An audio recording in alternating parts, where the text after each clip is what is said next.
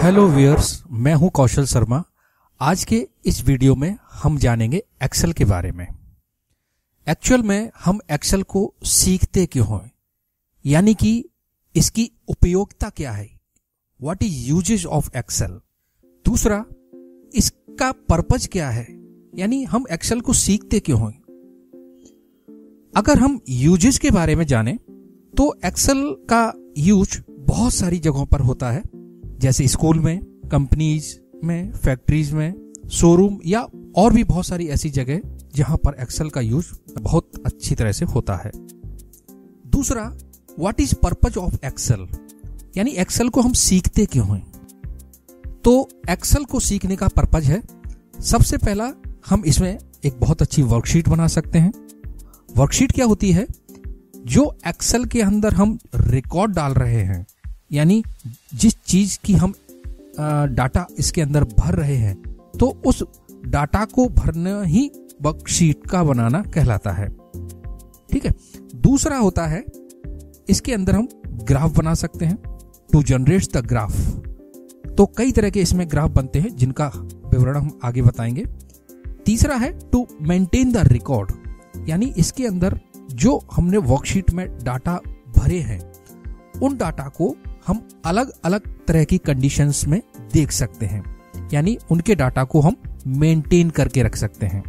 जैसे, मान लो आप किसी स्कूल में स्टूडेंट के मार्क्स मेंटेन करना चाह रहे हैं तो उसमें बहुत सारे स्टूडेंटों की लिस्ट आपने बना के रखी है। अब हमें ये देखना है कि ऐसे कितने स्टूडेंट हैं जो फेल हो गए हैं, या ऐसे कितने स्टूडेंट हैं जिनके परसेंटेज 70 से एबव है। तो ये सब हम इस एक्सेल के अंदर बहुत अच्छी तरह से देख सकते हैं। अब हम एक्सेल को खोलते हैं। जैसे ही एक्सेल खुलता है तो इस तरह का व्यू हमें दिखाई देता है। जिसमें सबसे ऊपर एक पट्टी आपको दिखाई दे रही है। इस पट्टी को हम बोलते हैं टाइटल बार या कैप्शन बार इस टाइटल बार पर कॉर्नर में ये तीन तरह के बटन आपको दिखाई दे रहे हैं। इन बटन्स को बोलते हैं कंट्रोल बटन जिसमें सबसे कॉर्नर में ये जो क्रॉस जैसा निशान दिखाई दे रहा है, ये क्लोज बटन है। इसके बीच वाला बटन मैक्सिमाइज या रिस्टोर बटन है। और सबसे राइट साइड में ये डैश जैसा निशान दिखाई दे रहा है, इसको हम मिनिमाइज बटन बोलते हैं। इसी बार में लेफ़्ट साइड में क्विक एक्सेस टूल बार दिखाई दे रहा है। ये शॉर्टकट होते हैं एक्सेल में फ़ाइल को सेव करने के लिए या अंडू या रीडो करने के लिए। अगर इसमें आप और कोई बटन जोड़ना चाह रहे हैं या हटाना चाह रहे हैं तो इस पॉइंट पर आप क्लिक करेंगे तो यहाँ पर आप ये जो दिखाई दे रहे हैं बहुत सारे ऑप्शन इनमें से किसी भी एक ऑप्शन को आप जोड़ सकते हैं। जैसे मान लो, हमें यहाँ पर ये न्यू वाला बटन ऐड करना है या ओपन वाला बटन ऐड करना है। तो जैसे मान लो हमने ओपन पे क्लिक किया तो आप देख रहे हैं, इसमें क्विक एक्सेट टूल बार में एक बटन और ऐड हो गया है ओपन के लिए। यहाँ से हम उस फ़ाइल को डायरेक्ट ओपन कर सकते हैं, किसी भी एक्सेल फ़ाइल को। जो काम आप क्विक एक्सेस टूल बार से कर रहे हैं उसी को आप इस ऑफ़िस बटन के द्वारा भी कर सकते हैं। जैसे ही हम ऑफ़िस बटन पर क्लिक करते हैं तो इसके अंदर भी वही ऑप्शन दिखाई दे रहे हैं, new, open, save save as, print वगैरह, जिसको आप फ़ाइल को सेव करना, फ़ाइल को खोलना या उसका प्रिंट आउट निकालने से संबंधित काम कर सकते हैं। इसके नीचे वाला एरिया कहलाता है रिवन एरिया। तो इस रिवन एरिया में ये अलग अलग तरह के टैब्स हैं, जैसे home tabs insert tabs page layout formula data review and views her tab में अपने अपने ब्लॉक्स होते हैं। जैसे ये होम टैब है तो इसमें अलग अलग ब्लॉक्स हैं, जैसे फॉन्ट है alignment numbers style and others in tabs के बारे में हम आपको अलग अलग वीडियोस में आपको बताएँगे। रेवन एरिया के नीचे, यहाँ पर ये कॉर्नर में आप ये जो एरिया देख रहे हैं, इसको हम बोलते हैं नेम बॉक्स या एड्रेस बार एड्रेस बार में हम ये जानते हैं कि हमारा सेल पॉइंटर एक सेल पॉइंटर होता है वर्कशीट एरिया में ये वाला। तो ये सेल पॉइंटर हमारा किस पोजीशन पर रखा हुआ है, वो हम यहाँ एड्रेस बार से जान सकते हैं। जैसे अभी हमारे सेल पॉइंटर की जो पोजीशन है, वो ए कॉलम के फ़र्स्ट रो पर है। तो नेम बॉक्स में अभी लिखा हुआ है ए वन मान लो इसकी पोजीशन अभी हम यहाँ पर रख दें सी कॉलम के फिफ्थ रो पर। तो नेम बॉक्स में या एड्रेस बॉक्स में आप देखेंगे कि यहाँ पर उसकी वो पोजीशन दिखा रहा है।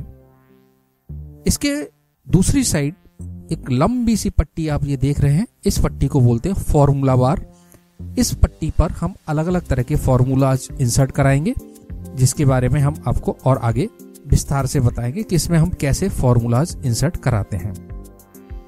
अब हम देखते हैं ये वाला पार्ट जिसमें आप इधर A B C D E F G इस टाइप का देख रहे हैं और इधर आप one two three four five ये देख रहे हैं।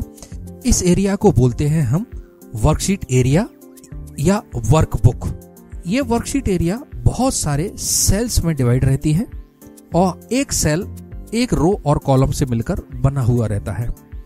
ये जो आप A B C D E F G H ये आप देख रहे हैं, इनको हम बोलते हैं कॉलम्स और one two three four five इस तरह से ये आप देख रहे हैं, नीचे तक इनको हम बोलते हैं रोज ये संख्या में रो और कॉलम अगर हम देखें तो कॉलम्स की संख्या होती है सोलह हज़ार तीन सौ चौरासी। One six three eight four यानी अभी आप जो देख रहे हैं ए से लेकर इनकी संख्या होती है एक्स एफ़ डी तक। और रो होती है वन से लेकर दस लाख अड़तालीस हज़ार पाँच सौ छिहत्तर। One zero four eight five seven six पर इतनी हमें रो और कॉलम की ज़रूरत नहीं पड़ती है, लेकिन अगर हम इसमें कोई बड़ी वर्कशीट बनाना चाहें तो आसानी से हम बना सकते हैं। अगर हमें वर्कशीट में कोई वैल्यू एंटर करानी है तो उस वैल्यू को हम कैसे एंटर कराएँ? इसके लिए जहाँ सेल पॉइंटर होगा वैल्यू वहीं पर एंटर होगी।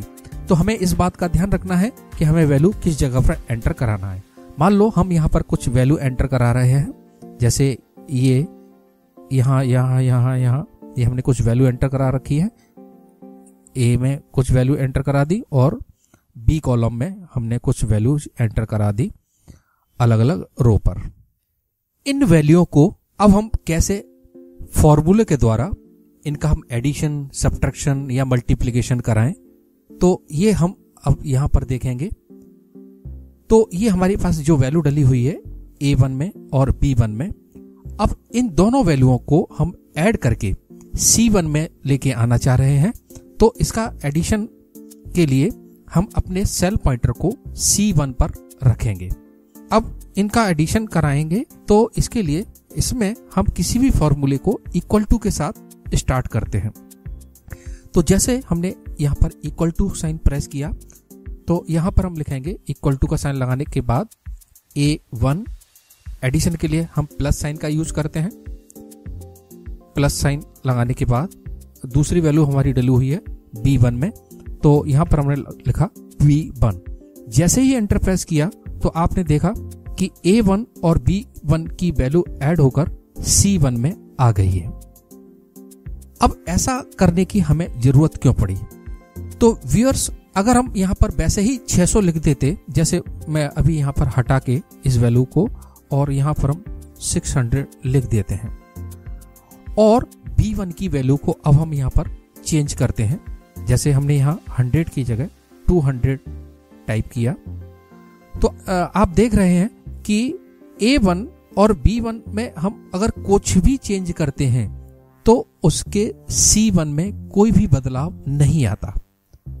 तो इसके लिए हम चाहते हैं कि अगर हम ए वन और बी वन में कुछ भी चेंज करें तो उसके सी वन की वैल्यू में भी बदलाव आए। तो इसके लिए हमें यहाँ फॉर्मूला लगाने की आवश्यकता पड़ती ही है। तो जैसे अभी हम इस वैल्यू को हटा के यहाँ पर उस फॉर्मूले से इसको अटैच करते हैं, सबसे पहले इक्वल टू का साइन ए वन प्लस दूसरी वैल्यू डली हुई है वी वन में तो पी वन लगा के जैसे एंटर किया तो यहाँ आप देख रहे हैं 700 लिखा हुआ आ गया। अब अगर हम यहाँ पर कोई भी चेंजेस करते हैं, जैसे 200 की जगह हम 800 करके एंटर करते हैं तो इसके टोटल में ऑटोमेटिकली वो वैल्यू चेंज हो जाती है। तो इसीलिए एक्सेल सबसे ज़्यादा यूज़ लोग करते हैं, क्योंकि इसमें किसी भी वैल्यू को एक फॉर्मूले के साथ जोड़ दी जाती है। तो उसके वैल्यू में जो भी बदलाव करते हैं तो उसके टोटल में ऑटोमेटिकली वो बदलाव होता है। तो इसी तरह से हमने जैसे अभी एडिशन किया था, इसी तरह से हम सब्ट्रैक्शन भी कर सकते हैं। सब्ट्रैक्शन करने के लिए जैसे दूसरी जगह पर हम फॉर्मूला लगाते हैं। मान लो हमारी दूसरी वैल्यू डली हुई है ए टू में इसको हम माइनस करना चाह रहे हैं बी टू से। जैसे ही हमने इस एंटरप्रेस किया ए टू माइनस हो गया बी टू से और जो वैल्यू आ रही है, वो यहाँ पर हमें दिखाई दे रही है। तो एडिशन के लिए हम प्लस साइन का यूज़ करते हैं सब्ट्रैक्शन के लिए माइनस साइन का यूज़ करते हैं मल्टीप्लीकेशन के लिए स्टार साइन का यूज़ करते हैं डिवीज़न के लिए ये स्लैश साइन का यूज़ करते हैं और परसेंटेज निकालने के लिए ये परसेंटेज साइन का हम यूज़ करते हैं। तो ये तो फॉर्मूला लगाने की एक इनिशियल स्टेज हुई कि कैसे हम इसके अंदर फॉर्मूला लगाते हैं। आगे की वीडियो में हम देखेंगे कि फॉर्मूले को हम और किस तरह से आसान बना सकते हैं। अब हम देखते हैं वर्कशीट के नीचे वाले एरिया को। वर्कशीट का जो नीचे वाला एरिया है, यहाँ से हम अपनी वर्कशीट को जूम इन या जूम आउट कर सकते हैं। ये जो आप प्लस का निशान देख रहे हैं यहाँ से हम अपनी वर्कशीट को जूम कर सकते हैं। ये देखें, यहाँ जूम कर रहे हैं। अगर ये बीच वाला बटन को हम प्रेस करें, अगर हम इधर उधर खिसकाते हैं, अगर ये बिल्कुल बीच में आ जाता है तो ये 100 परसेंट व्यू हमें दिखाई दे रहा है। अगर माइनस वाले साइन को हम प्रेस करते हैं तो 100 से कम परसेंटेज में व्यू हमें दिखाई दे रहा है, जो यहाँ दिखा भी रहा है जैसे अभी ये कितना परसेंट का व्यू सामने चल रहा है, वो हमें दिखाई दे रहा है। तो अभी हम इसको 100 परसेंट पर कर लेते हैं, जो नॉर्मली रहता है। लेफ़्ट साइड में डिफॉल्टली इसमें तीन सीट्स रहती हैं, सीट वन, सीट टू और सीट थ्री। लेकिन अगर आप इसमें और वर्कशीट जोड़ना चाहें तो वो भी हम जोड़ सकते हैं। इसके लिए यहाँ अपना माउस पॉइंटर को लेके आएँगे। तो नीचे लिखा हुआ आ रहा है इंसर्ट वर्कशीट इसका शॉर्टकट है स्विफ्ट प्लस एफ़ इलेवन अगर जैसे ही हम इस पर क्लिक करते हैं तो एक सीट और बन गई। तो यानी अब हमारे पास सीट हो गई है टोटली चार सीट हो गई हैं। लेकिन डिफॉल्टली जब भी हम किसी भी एक्सेल की फ़ाइल को खोलते हैं तो उसमें हमें तीन सीट नज़र आती हैं। तो व्यूअर्स अगर हमारा ये वीडियो आपको पसंद आया हो तो कृपया इसे लाइक करें और इसको सब्सक्राइब करें, जिससे कि हम आगे जो भी नए वीडियो बनाएँगे, वो वीडियो आप तक भी पहुँचे और हमें कुछ कमेंट करें, जिससे कि हम आपके सवालों का जवाब दे सकें। धन्यवाद।